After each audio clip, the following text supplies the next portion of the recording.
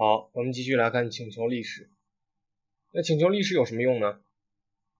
有时候是这样的，比如说用户填了一张表啊，比如说是注册是吧？注册用户注册完了之后，里边的内容出现错误怎么办？我们我们传传上服务器之后，我们检查表单验证之后，他的表表单没通过怎么办？这个这个时候我们就需要给把它返回到之前填表的那张页面，是吧？让他再填，让他修改呃错误的信息，是吧？那事情往往是你。把它打回去之后，那一页其实是等于刷新了。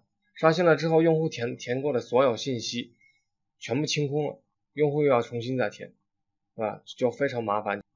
这个时候，如果我们能帮他把之前提交过的信息给他填进去，这个用户体验就会好很多，是吧？那这个要怎么做到呢？服务器要怎么知道就是谁是谁啊？他怎么知道谁是谁？事实上，这个地方其实是。哎，引用了一个绘画的概念，是吧？这个这个我们后我们后头都会讲到，因为我们这个 Flash 这里的数据组啊，它它是存在啊绘画中的，所以只要我们用这个 Flash 方法的话，它会把这个数据存到呃绘画中，然后在下一次的请求中，在绘画中直接调用啊，它主要是有这样的一个好处。好，请求历史，我们来看 Flash 第一个方法，比如说。我们现在我们现在的 URL 是这样，还还是上节课那个 URL 是吧？就一共是四个键是吧？四个键对应四个值。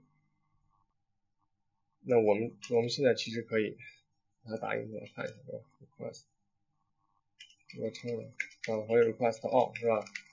我们试一下，它返回的是这个对吧？我们现在不要这个，我们说 flash 服。Flash 是吧？Flash 刷新，好，它现在已经把数据存到 Session 里了，是吧？大家虽然没有看到任何情况，那这个要怎么调出来呢？其实我们可以另做一个 Browse 是吧？Browse 我们比如说 Any 也用 Any 吧，比如说这个叫 Task 二，用另外一个方法叫 Old 是吧？Old 用这个方法，这个方法它就是用来。获取你之前哎，你需要重用的那那组数据的一个方法是吧？调取之前你你已经存到三十里的那那那那个方法是吧？好，这里我们可以返回是吧？返回，request 啊，request 什么呢？old 是吧？old 那只你里边不传任何参数的话，它返回的就是所有的数据是吧？那我们哎这这样已经 flush 了是吧？那我们再再新新建一些，把它叫 task 二啊，刷新。好，我们发现它在新的一页出来了，是吧？